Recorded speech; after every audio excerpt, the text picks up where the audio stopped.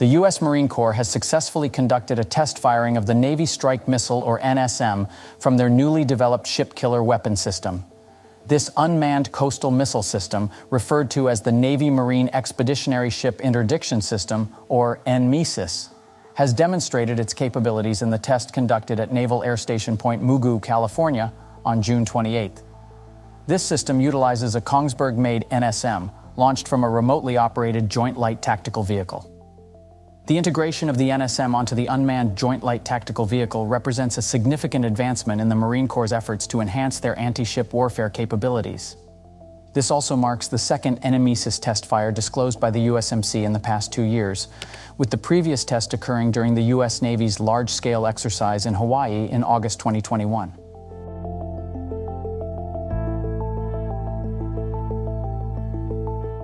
So, what exactly is the NMESIS? Why does the Marine Corps prioritize its swift deployment to field Marines? And how does this system align with broader military strategies?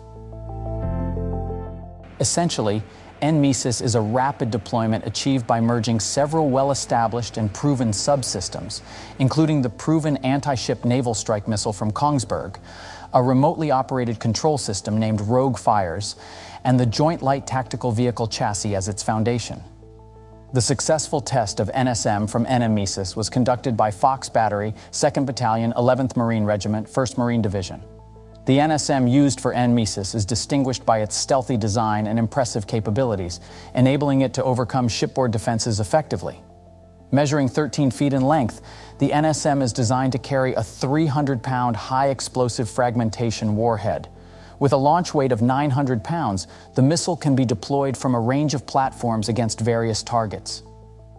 Employing passive homing, the missile boasts a remarkable range of approximately 100 to 115 miles and travels in a sea skimming mode.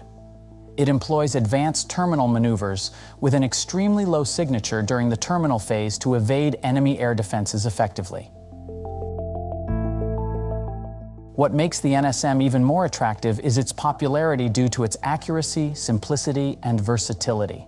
For target detection and discrimination, the missile relies on GPS aided mid course guidance and utilizes a dual band imaging infrared seeker. The seeker's autonomous target recognition ensures precise detection and striking of both sea and land based targets.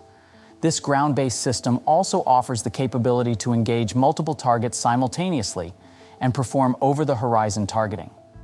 To detonate the missile's warhead, a programmable fuse is employed, providing versatility in strike scenarios.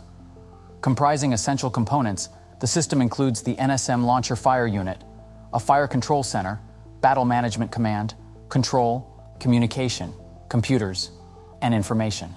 Its launcher can be easily mounted on various platforms, whether it be a ship or a truck making it a flexible and adaptable weapon system for different operational needs.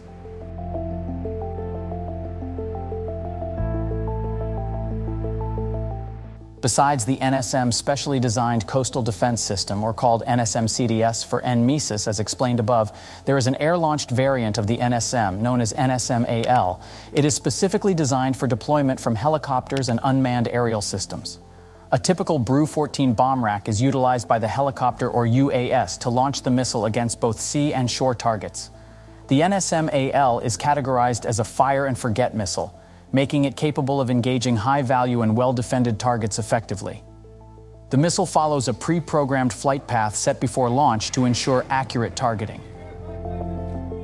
According to John Ferrari, a former Army general and current fellow at the American Enterprise Institute with a cost of around $2 million per missile, NMESIS system incorporating the NSM provides the Marines with a potent and cost effective tool to bolster their capabilities in sea based warfare, especially for their scoot and shoot strategy.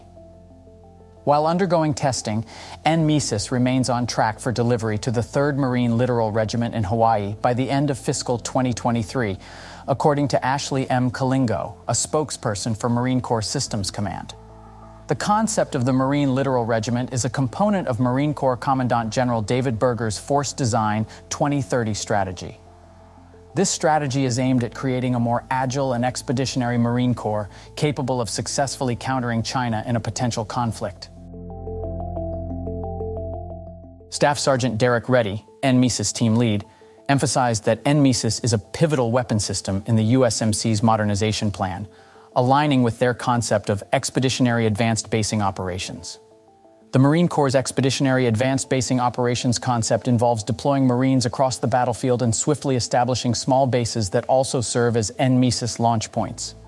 This capability enhances sea denial and control, filling a significant gap as the U.S. lacked a land-based anti-ship weapon before NMESIS. Therefore, for the Marines, the successful trial marks a significant advancement for NMESIS to support the pivot to the Pacific, aiming to restrict the Chinese Navy within the first or second island chain. Stacy Pettyjohn, the director of the defense program at the Center for a New American Security think tank in Washington, D.C., stated that in a scenario where the U.S. needed to defend Japan from China's Navy, Marines from littoral regiments could be deployed to remote Pacific islands. From these locations, they could utilize NMESIS to target Chinese ships. However, Ferrari noted that while NMESIS aligns with the Commandant's vision for the future, its relevance to the broader Indo-Pacific strategy of the Pentagon remains uncertain. Although NMESIS is assembled from established technology, making its overall costs likely lower than most new weapon systems, the Marine Corps has always faced budget constraints which are expected to persist. The latest budget request includes $28 million for research and development of NMESIS, following previous allocations of $42 million in fiscal year 2020 and $25 million in fiscal year 21. Moreover, while the NSM for NMESIS could still be useful in certain scenarios, it may not present a significant threat to larger and more distant targets, like a Chinese aircraft carrier battle group. To address this issue, therefore, the Marines are exploring the possibility of adopting a ground-launched version of the Navy's classic Tomahawk cruise missile. A standard Tomahawk cruise missile weighs around 3,000 pounds, with approximately one-third of this weight is attributed to the warhead. The latest variant, the Block 5 Tomahawk, can have a range of up to 1,000 miles and employs a sophisticated multi-mode seeker that combines radar and infrared sensors to precisely target enemy ships. The Marine Corps made a request for Tomahawk cruise missiles in their 2021 budget, but it was denied by Congress. However, in the 2022 budget, the Corps included 48 Tomahawks in their unfunded requirements list, indicating their continued interest in acquiring these missiles. So, what do you think on this matter? That's all thanks for watching.